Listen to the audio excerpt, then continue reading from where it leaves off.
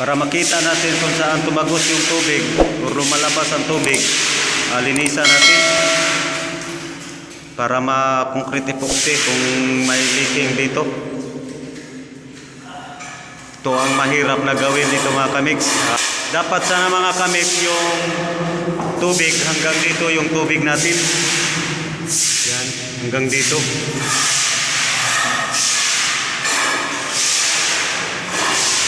Kaso yung tubig hanggang dito lang. Bababa siya dito sa ah, dulo ng ating tubo.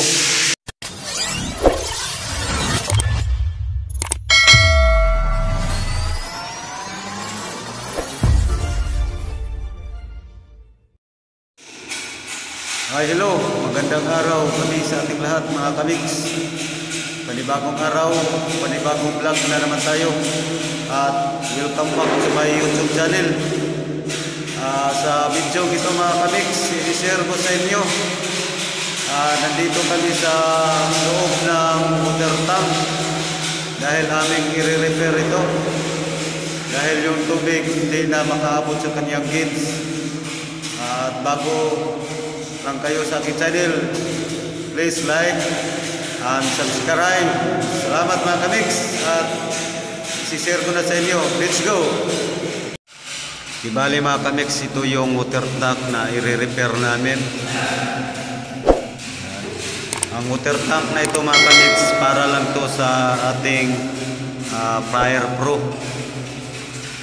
Ah, nire-repair namin ito dahil yung tubig hindi na makapundo or hindi na mapunduhan ng tubig.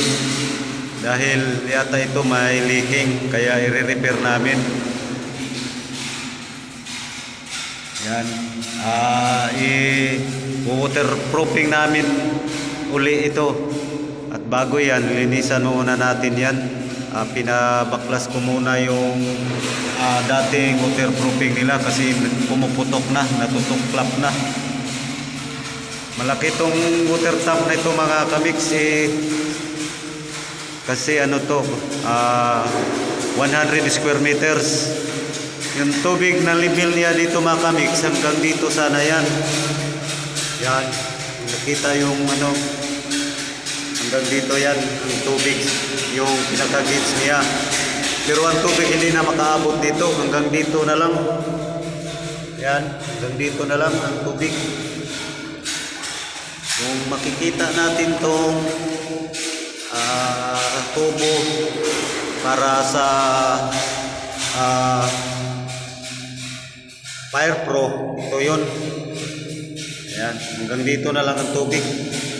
Pag may mga emergency, hindi na makasupply ng tubig to dahil hindi na nakapundo ang tubig dito sa ah, kanyang water tank. Kaya ni-repair namin yan mga kamix. At amin muna itong lilinisan. Yan, may tubig pa. Papaklasin namin itong tubig, linisan namin at i-waterproofing namin ito uli.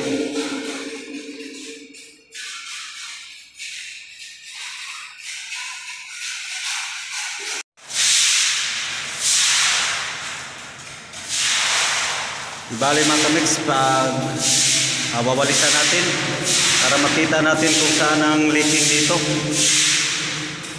Dahil hindi tayo makapundo ng tubig. Pero sa tingin ko dito mga kamix, hindi ito ah, sa flooring nag-leak, kundi dito sa mga kantuhan, katulad yan. Dahil kung sa flooring ito nag-leaking, ah, walang matirang tubig, pero may natirang tubig dito. Suspense ako dito, nasa wall ang leak dito mga kamix. Inalisan muna natin para makita natin kung saan ah, nanggaling yung leak. Bakit hindi makapundo ng tubig dito.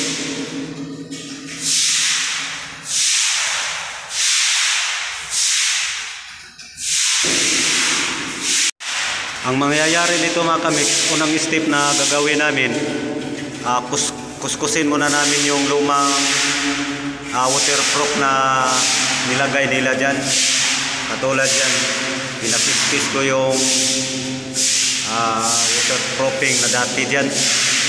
at linisan natin, wawalisan para makita natin yung saan ang galing yung ah, leak.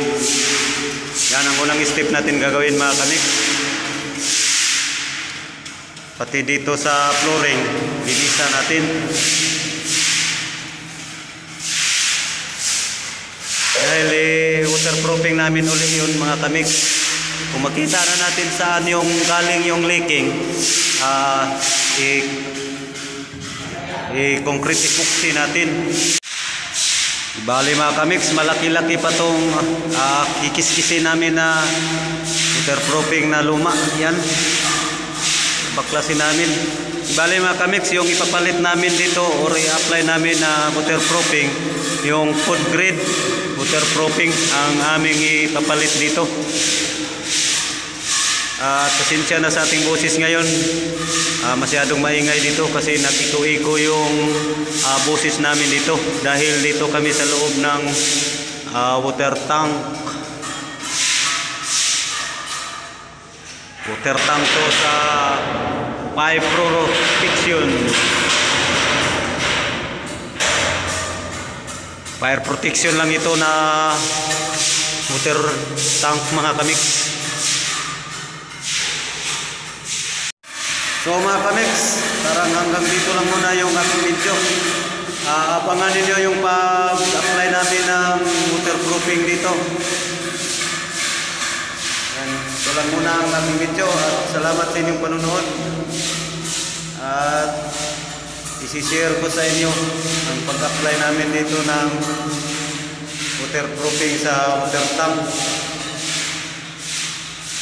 Abangan ninyo mga kamix yung susunod na akong video or vlog dito sa aming activity as a construction works. Salamat sa panonood. Hanggang dito na lang. Set out sa lahat. Mga kamix. Bye-bye. Abangan ninyo ang part 2.